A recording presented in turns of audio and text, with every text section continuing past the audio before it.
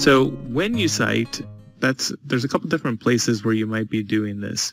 Uh, and for APA style, uh, there's a couple different uh, criteria you might be looking at. So uh, if you're paraphrasing a source, that's going to be one time when you're going to want to do that. Quoting a source word for word is going to be another, and using ideas from a, another source. Now, paraphrasing is it's not taking the original sentences and kind of rearranging them and changing a, a few words. Uh, that that's not the the way that you would want to be doing that. Instead, paraphrasing really is a restatement of the original source's ideas in your own words.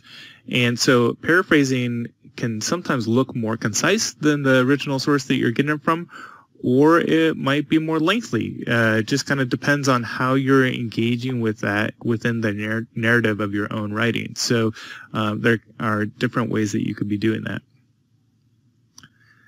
Now, using others' ideas and research, uh, this really applies to facts, data, ideas, theories, and inspiration from other sources to support, inform, and illustrate your claims.